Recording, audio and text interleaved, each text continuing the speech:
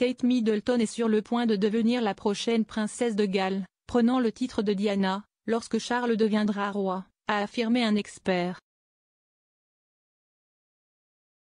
La duchesse de Cambridge, 40 ans, est sur le point de remplir les chaussures de Diana lorsque le prince Charles deviendra roi après avoir porté sa bague de fiançailles pendant plus d'une décennie. L'expert royal Camilla Tominet a affirmé que Kate et William se préparent à être les futurs princes et princesses de Galles.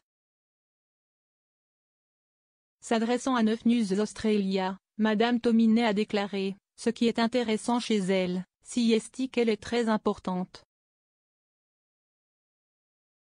Elle est la mère d'un futur roi et l'épouse d'un futur roi. En ce qui concerne la monarchie et particulièrement en l'absence du duc et de la duchesse de Sussex, elle est une figure extrêmement influente qui va de l'avant.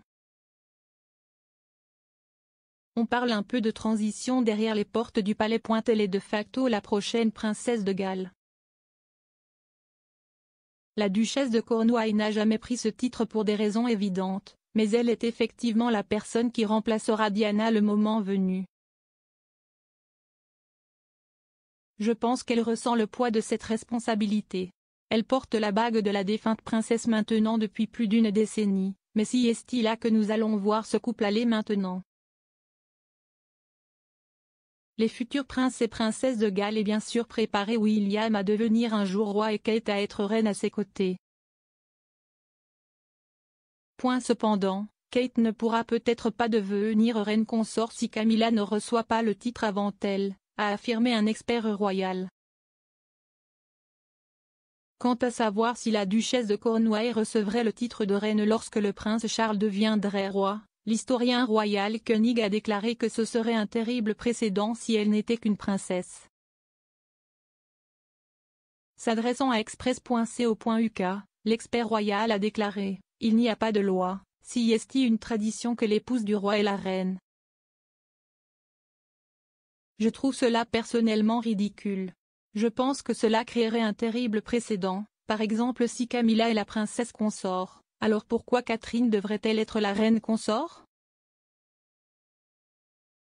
Je trouve très révélateur que la reine Elisabeth II ait fait une annonce il y a quelques années en nommant Camilla et William au conseil privé.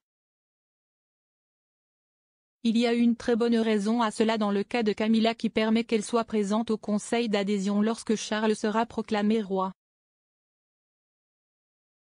Pourquoi ne devrait-elle pas être reine? Ici, aucune législation n'est nécessaire, si est juste la tradition. Au fil du temps, je pense que nous devrions simplement accepter qu'elle soit sa femme. Elle a fait un travail incroyable en s'attaquant à différents organismes de bienfaisance et mécénat. Pourquoi devrait-elle être simplement traitée comme son égale? Je n'ai aucun problème avec ça et je pense que si est comme ça que ça devrait être. Ce n'est pas le premier roi de l'histoire à avoir une seconde épouse.